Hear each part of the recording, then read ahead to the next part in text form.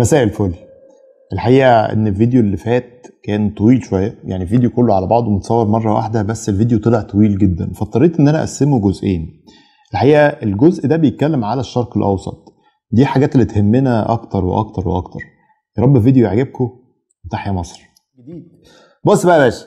أول إيميل بيقول لك في أيام 2011 الإدارة الأمريكية على رأسها أوباما كانت شايفة اللي بيحصل ده سبيل لهدم الإمبراطوريات اللي مش عاوزة تتغير وسبيل في تغيير الحكم بشكل عفوائي بشكل عفوي بس كل اللي عليهم إن هم يدعموه وما يقفوش قصاده. يعني معنى كده إن أمريكا مش هي اللي عاملة 2011 عشان بس نبقى واثقين يعني. خلي بالك أنا من ضمن الناس اللي نزلت في 2011 خلاص عشان بس تبقى إيه يعني أنا مش هجرح في نفسي. عشان بس ما تجيش تقول انت بتهاجم ثورة 2011 أنا نفسي كنت فيها خلاص؟ فمش بهاجمها بس هو كل بيقول لك إن هم كانوا بيدعموها عشان تحقق أهدافهم. إزاي؟ قال لك إن هيلاري كلينتون كانت اجتمعت مع القطريين في قطر في الدوحة. وقابلت مين؟ قابلت حمد بن جاسم. ماشي؟ ده أول واحد. بعدين في لقاء مغلق قابلت وضاح خنفر. وضاح خنفر ده سيبك بس من اسمه يعني وضاح خنفر ده مدير قناة الجزيرة السابق. خلي بالك إن بعد ما التسريبات الأمريكية دي طلعت الجزيرة عزلت وضاح خنفر ده يعني مشوه. امشي يا عم إحنا مش عاوزينك إحنا كشفنا خلاص. وتاني حاجة قابلت في لقاء مغلق رئيس الجزيرة المتحدثة بالإنجليزية. لما قعدوا مع بعض ما تفتكرش إن هو كان اجتماع ودي ومغلق؟ اللي فضح الموضوع ان وضح خنفر بعت إيميل بعد زيارة هيلاري قال لها إحنا دلوقتي هنشتغل إن إحنا هندعم الجماعات الإرهابية جوه الدول العربية. وخلي بالك من الكلام هيدعموا الجماعات الإرهابية جوه الدول العربية. وهنغطي الأخبار بتاعة الجماعات دي ونبروز صور المظاهرات والكلام ده كله. معنى كده وده اللي طالع من البي بي سي. بتقول لك إن قناة الجزيرة كانت بتاخد أوامرها من هيلاري كلينتون شخصيا وإن الإدارة الأمريكية كانت عارفة أو على علم مسبق إن الجزيرة بتدعم الإرهاب جوه الدول العربية أو الجماعات الإرهابية. على فكرة الإيميل أهو عشان بس ما تشككش في كلامي. الإيميل اللي بعته وضاح خنفر لهيلاري كلينتون أهو فبيقول لك إن الخطوره إن أمريكا هي اللي كانت بتدير قناة الجزيرة. عشان كده الرباعي العربي لما فرض إن هو يمنع التعامل مع قطر ترامب ما اعترضش لأن هو كان عارف إن قطر تدعم الإرهابيين جوه البلاد العربية.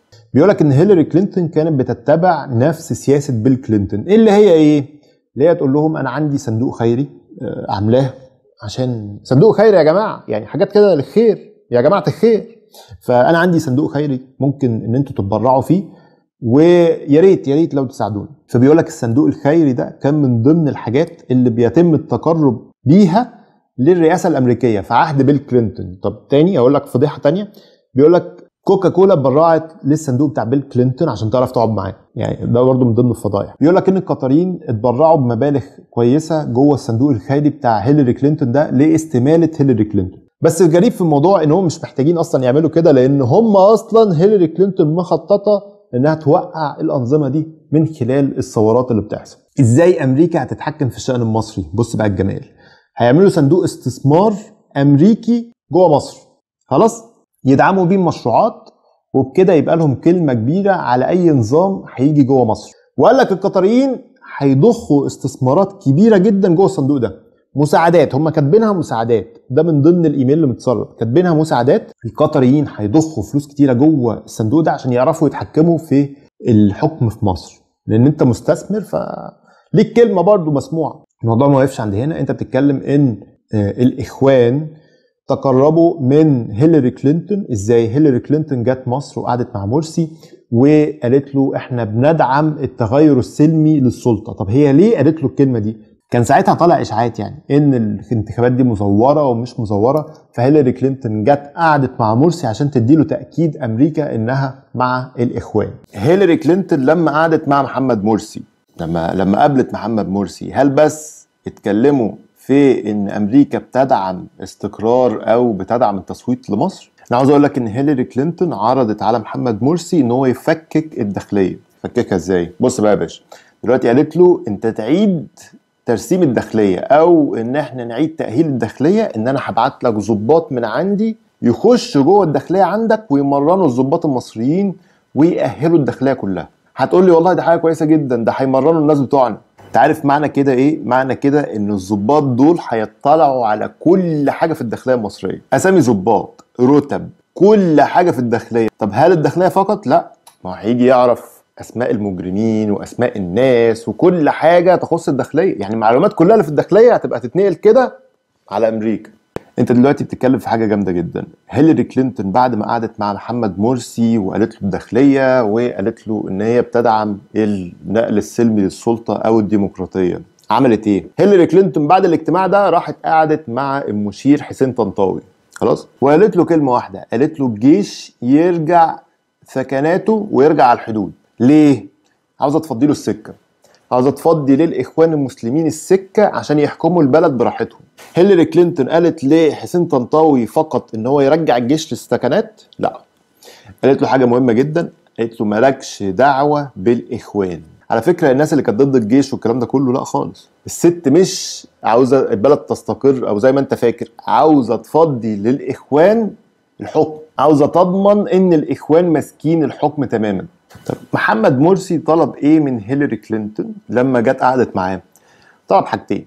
أول حاجة إن الإخوان ما ينعزلوش دوليا. شوف بقى الطلب. قال لها إحنا مش عاوزين نطلع بره المجتمع الدولي وعاوزين اعتراف من المجتمع الدولي إن إحنا ماسكين مصر. ليه؟ شوف ليه. عشان يحق لهم إن هم ينتشروا في البلاد التانية. ياخدوا مصر قاعدة ويطلعوا منها للبلاد التانية. ويقول لك برضو إن هم برضو مش عاوزين يتقفل عليهم عشان مصر معتمدة على السياحة والمعونات الخارجية فخايفين إن هم يحكموا مصر وما يعرفوش ياخدوا معونة أو بلد تقع أو ما يبقاش فيها فلوس فتاخدهم وتنزل. فهي دي الحاجة اللي الإخوان مصرين عليها. طب إيه تاني حاجة؟ تاني حاجة إن الإخوان عاوزين دعم الولايات المتحدة الأمريكية في التعامل مع الدول الأخرى. تاني حاجة بيقول لك الإخوان المسلمين طلبوا من أمريكا ومن القطريين يعملوا قناة تلفزيونية بره الجزيرة خلاص؟ القناة دي تكلف 100 مليون دولار عشان تدعم حكم الإخوان في مصر. ليه؟ لأن الإخوان كانوا شايفين الإعلام اللي ضدهم قوي جدا وبيأثر على حكمهم في مصر. فطلبوا من القطريين يعملوا لهم قناة تلفزيونية قوية تعرف تقف قصاد الإعلام المصري والعربي. لو انت جيت بقى تفتكر أو تبص هتلاقي نفس الفكرة دي معمولة دلوقتي قناة الشرق وقناة مكملين. خلاص؟ هي هي هي هي نفس الطلبات بتاعه الإخوان في 2011 معمولة دلوقتي. الشرق ومكملين. الخونه اللي بيشتغلوا بيقول لك إحنا معارضة ومش ممولين و... وأصحاب رأي. اللي زوبع متصور مع وزير الخارجية التركي. ده أنا هفضحك بيها فضيحه دي يا زوبع ده أنا مش هسيبك. المهم ده زوبع اللي متصور مع وزير الخارجية التركي. نرجع تاني للإيميلات. الإيميلات بتقول لك إن الإدارة الأمريكية ساعتها باراك أوباما كان بيدعم الإخوان المسلمين في مصر وكان عاوز يوقع نظام مبارك بأي شكل. الإيميل اللي بعديه يبقى نمشي إيميل إيميل. الإيميل اللي بعديه آه هيلاري كلينتون وده طالع من البي بي سي. خليني بس أقول لك على كل حاجة عشان بس تبقى عارف. ده طالع من البي بي سي. آه هيلاري كلينتون بتدعم التدخل الأمريكي في سرية تامة جوه سوريا. أيام إيه؟ أيام الاضطرابات. الاضطرابات مش الحرب. خلي بالك ما كانش في حرب ساعتها. كان في اضطرابات بس. أمريكا كانت عاوز تتدخل بسرية جوه سوريا. سرية إزاي؟ الإيميل مش موضح ولا أي حاجة. أنا بقول لك اللي حصل الإيميل اللي بعديه الإيميل اللي بعديه يا باشا بتتكلم إن سعود الفيصل وزير الخارجية السعودي. وخلي بالك بقى من الكلام ده وركز فيه كويس قوي وزير الخارجية السعودي كان في اضطرابات في 2011 في البحرين. البحرين لازم تفهم إن جواها شيعة كتيرة جدا. خلاص؟ والشيعة دي مدعومة من إيران. وإيران على تواصل مباشر وزرعه كمية جواسيس جوه البحرين غير طبيعية. غير طبيعية. ممكن ما تتخيلهاش أصلا. وكمية شيعة جوه البحرين غير طبيعية. فالشيعة استغلوا ثورات 2011 دول وقاموا باضطرابات كبيرة جدا كانوا عاوزين يوقعوا بيها الحكم جوه البحرين. خلاص؟ على فكرة بس تبقى فاهم أنا ما بسقش للبحرين بأي شكل. أنا بس بشرح لك الوضع واللي طالع من التقارير. الجيش البحريني ما كانش عارف يلم الموضوع وكان في قلائل كبيرة جدا. خلاص؟ فالسعودية عملت قوات اسمها درع الجزيرة. مش معمولة للموقف ده كانت معمولة من زمان. بس بيقول لك السعودية والإمارات بعتت قوات درع الجزيرة دي للبحرين. قامت هيلاري كلينتون رافعة سماعة التليفون على سعود الفيصل. قالت له إيه؟ قالت له باشا رجع القوات بتاعتك دي وما تتدخلش جوه البحرين. قال لا لا أنا هتدخل جوه البحرين. قالت له لو اتدخلت شوف بقى المحادثة. قالت له لو اتدخلت جوه البحرين هتأثر على العلاقات الأمريكية السعودية. خلاص؟ قفل في وشها السكة. ده الرد يعني الراجل رده صريح. قفل في وشها السكة على طول. الايميل اللي بعديها يا باشا عشان بس تبقى فاهم الدنيا. سعودي الفيصل لما قامت عندنا ثورة 30 يونيو وشلنا مرسي. خلاص؟ ده ضد الإرادة الأمريكية لأن أمريكا ساعتها بتدعم الإخوان زي ما قلت لك. طلع سعود الفيصل جوه البيت الأبيض زار البيت الأبيض وزار أوباما شخصيا. خلي بالك الإيميل طالع كده. زار أوباما شخصيا. وقال له كالآتي والله العظيم ما بزود كلمة. قال له كالآتي. قال له أنا شايف خلي بالك هو واضح كده إن هو عمال يتكلم وهم معارضينه. يعني فاهم؟ يعني واضح إن سعود الفيصل عمال يتكلم إن مصر دي كويسة ولازم ندعم عبد الفتاح السيسي والكلام ده كله وهم الاداره الأمريكية معارضة ده. خلاص؟ فبيقول لك إن سعود الفيصل قال لهم كده قال لهم أنا شايف إن أنتوا مش راضيين على اللي بيحصل في مصر. خلاص؟ ومصر بقى مش محتاجاكم أصلا وإحنا هندعم مصر. ومصر والسعودية دول السند بتاع الأمة العربية. خلي بالك بقى من حاجة مهمة جدا. الراجل ده مش طالع في لقاء تلفزيوني ولا في خطاب للعامة ولا طالع في بيان لوزارة الخارجية صح؟ الراجل ده بيتكلم منه للإدارة الأمريكية جوه البيت الأبيض. على فكرة اللقاء ده أو المحادثه دي عمرها ما كانت هتطلع صح؟ مش تطلع. فما تجيش تقول لي ده أصله كان قصده لا أصل ده نيته غير. ده هنا بيفصح عن نيته. خلي بالك النقطة دي خطيرة جدا. سعودي الفيصل بيفصح عن نيته. بيقول لهم مصر مش محتاجة لأمريكا والسعودية هتدعم مصر ومصر والسعودية سند الأمة العربية. خلاص؟ يعني عشان بس إيه؟ الراجل ده بيقول اللي في ضميره. الله يرحمه. يعني الله يرحمه. ده بيقول اللي في ضميره اللي جواه اللي أنت عمرك ما كنت هتعرفه. إيه الإيميل اللي بعديه؟ الإيميل اللي بعديه لما حصلت برضو الاضطرابات. في البحرين الإمارات برضو ما سمعتش كلام الإدارة الأمريكية وبعتت دعم للإمارات عشان تعرف تحافظ على ملك الإمارات ما يقعش في إيد الشيعة الإيرانيين. بص ده اللي قدرت أعمله. بس أنا اوعدك أي إيميلات تانية هتتسرب هطلعها لك وهجيبها لك. لأن إحنا مش هنسكت على اللي جو بايدن عاوز يعمله. خلي بالك إن دونالد ترامب تقريبا بيلعب أسلحته الأخيرة. يعني بيطلع كل اللي جوه جعبته الأخيرة. دونالد ترامب صحته رجعت زي الأول. دونالد ترامب عمل لقاء انتخابي امبارح مع الناخبين بتاعته. قصاد البيت الأبيض دي كانت حاجة خطيرة جدا. معنى كده إن هو شفي تماما أو زي ما بيقولوا يعني. لأن هو سي ان ان كل يوم تطلع تهاجمه وتقول لك إزاي عنده فيروس وبيجتمع بين الناخبين بتوعه. وعمال قاعد جوه البيت الأبيض فالراجل طلع في مؤتمر انتخابي امبارح. أنا بكلمك كل ده امبارح. الواضح من الإيميلات دي نية الديمقراطيين أو جو بايدن مش نية هيلاري كلينتون. جو بايدن لو جه هيطبق نفس السياسة تاني. جو بايدن كل اللي طالع أو كل التقارير اللي طالعة إن هو متقدم بفارق 12 نقطة عن دونالد ترامب في الانتخابات. يعني في آخر استطلاع رأي بين 12 نقطة فرق بينه وبين دونالد ترامب واضح كده إن هو هيكسب. واضح. أنا بقولكش مثلا حاجة معلومة من عندي. أنا بقول لك اللي طالع من السي ان ان والوكالات اللي أنا ذكرتها لك قبل كده. واضح كده إن جو بايدن له تقدم وممكن هو اللي يكون المرشح القادم. ولو هو مسك السلطة في الانتخابات الأمريكية ما تعتقدش إن العرب أو العالم كله هيبقى فرحان إن جو بايدن جه. لأن حتى تركيا شوف تركيا بتحب جو بايدن. كانت الإدارة التركية بتدعم جو بايدن لحد ما طلع بتصريحات هاجم بيها إردوغان وتصرفات إردوغان اللي أنا كنت بقول حليف ليها قلب على جو بايدن. محدش راضي بال... بسياسة جو بايدن دي اللي هي سياسة أوباما. خليني بس أقول لك نقطة كمان. في التسريبات دي أو في الايميلات دي مش عاوزين يطلعوا ايميلات كتيرة تخص العلاقات الروسية الامريكية أو الصينية. يعني بيحاولوا يتجنبوا الحاجات دي. يعني حتى دونالد ترامب على فكرة بيحاول يتجنب ان هو يطلع الايميلات تخص أو اللي فيها معلومات تمس روسيا أو الصين. الايميلات دي بتكشف نوايا. انت شفت قطر؟ على فكرة قطر بعد ثورة 2013 ثورة 30 يونيو 2013 جم طلبوا كل الفلوس اللي على مصر. يعني كل الفلوس اللي كانوا مساعدين بيها مصر قالوا لهم هاتوها. رجعوا لنا الديون بتاعتنا اللي عليكم. وخلي بالك مصر ساعتها كانت مديونة بكتير جدا. وخلي بالك الاقتصاد المصري كان زي الزفت وكانت حالتنا زي الزفت وما صبروش علينا. جم قال لك هات الفلوس بتاعتنا دلوقتي حالا. وعلى فكرة ميعاد استحقاقها ما كانش في اليوم ده أو في السنة دي وقالوا لهم هاتوها دلوقتي. ضغط على الاقتصاد المصري عشان يوقعك. خلي بالك تاني الايميلات دي بتكشف نوايا مش تصرفات. تصرفات يعني حاجة معلنة نوايا ده اللي جواك. اللي جواك الايميلات دي بتكشفه.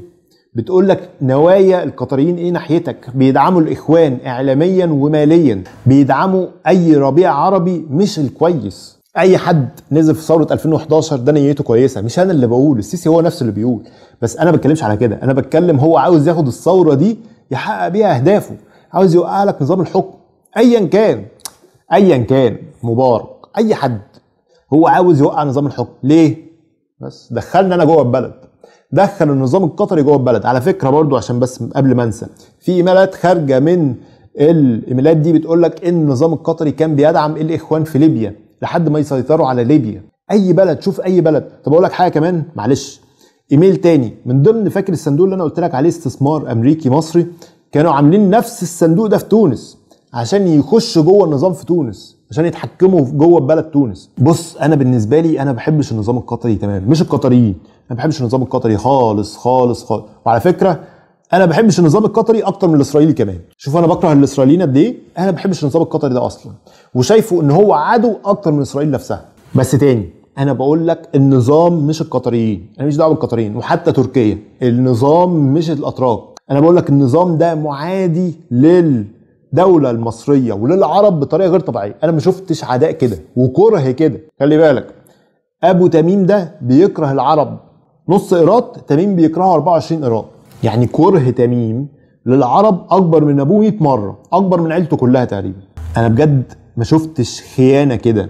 الناس اللي شغالة في الجزيرة دي وعمالة تقبض بالدولار عشان توقع النظم العربية وتطلع تقول لك شائعات. طب أقول لك بس حاجة معلش معلش أقول لك بس حاجة.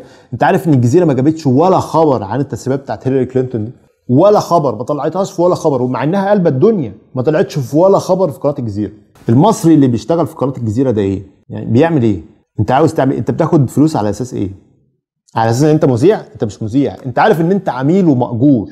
طب أقول لك حاجة معلش سؤال بس سؤال بس قبل ما أقفل. دلوقتي لما مذيعين الجزيرة دول بيطلعوا يشتموا في النظام المصري خلاص؟ امشي بس معايا. لما جت في 2017 النظام القطري لما اتضغط عليه من السعودية سوريا كده بعت مندوب من النظام القطري لمصر وقابل الرئيس عبد الفتاح السيسي. امشي بس معايا بالقصة دي. مذيعين الجزيرة اتفرض عليهم يقولوا إيه؟ قال لك الرئيس عبد الفتاح السيسي ومن ساعتها ما غيرهاش يعني على فكرة قبل كده كان بيقول لك آه، منقلب انقلاب آه، مش عارف إيه. بعد الزيارة دي اضطرت الجزيرة تقول للرئيس عبد الفتاح السيسي ومن ساعتها ما عرفتش ترجع في كلامها. طب انت حضرتك إخواني؟ أنا مقتنع. يعني إنت دلوقتي اللي موجود في الجزيرة ده إخواني صح؟ لما إنت يتفرض عليك تقول الرئيس عبد الفتاح السيسي ما إنت إخواني ومش راضي وشايف إن اللي حصل ده انقلاب. انت بيتفرض عليك تقول الرئيس عبد الفتاح السيسي وبتطلع تقول الرئيس عبد الفتاح السيسي؟ يبقى إنت إيه؟ مأجور ولا مش مأجور؟ بتقول ضد مبادئك اللي انت مقتنع بيها لأن انت إخواني وعميل لأن انت إخواني. فأنت بتقول حاجة اللي هو الرئيس عبد الفتاح السيسي وتطلع منشكح جدا وتقول الرئيس عبد الفتاح السيسي والنظام المصري لو انت أصلا كنت بتشتمه من شوية دلوقتي مفروض عليك إن انت تقول للرئيس عبد الفتاح السيسي يبقى انت إيه؟ مأجور ولا مش مأجور؟ عميل ولا مش عميل؟ تبع اللي يدفع لك أكتر ولا لأ؟ في الآخر يا رب أكون شرحت لك الموضوع بشكل مبسط. يا رب انصر العرب يا رب انصر مصر تحيا مصر. سلام.